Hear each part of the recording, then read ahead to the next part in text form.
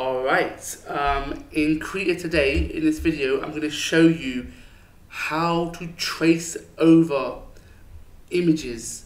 Um, this is a really, really good tool uh, and it's particularly useful if, just like me, you're not very good at drawing. Uh, you can actually, if you're patient enough, you can actually make some fantastic drawings um, in Krita if you use this technique. Is also really good because it pretty much means you can take any image from the internet, you trace over it, and now once you trace over it, this new image is under your control completely. You can do whatever you want to it, you can change the colors, you can reshape it, do whatever you want, and you'll see how to do that now. So, first of all, you need to get yourself an image. Um, choose any image you want. I am choosing the Apple logo that I've taken from the internet. I pressed Command and V to paste it in. If you're using a Windows computer, that's Control and V. I'm going to now click as web, and here you go. There's my uh, my Apple logo. Okay. Uh, now what I'm going to do, I'm going to resize it using the transform tool on the left. Uh, hold shift and bring that up a bit. Hold shift.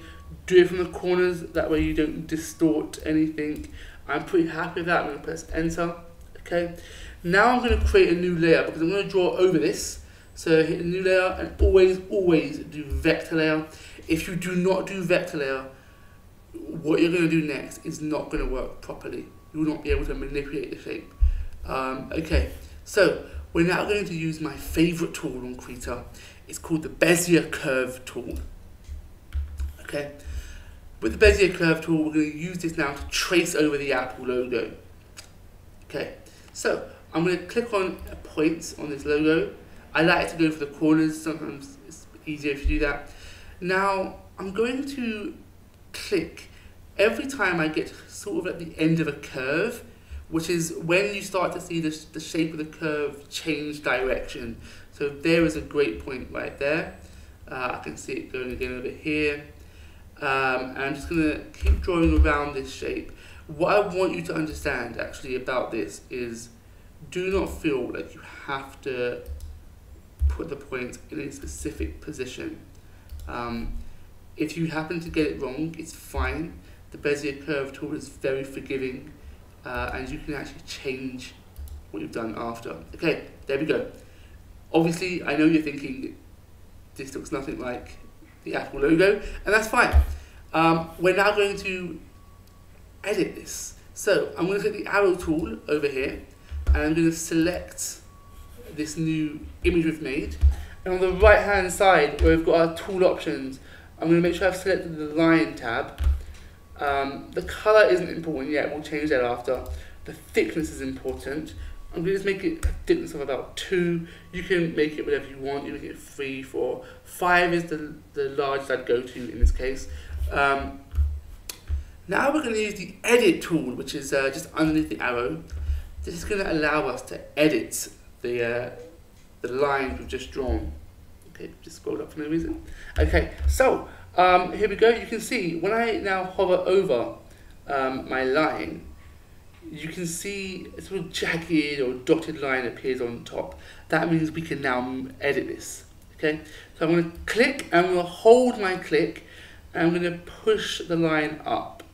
I'm to move my mouse around to try and get that line as close to the outline of the Apple logo as I can. That looks okay.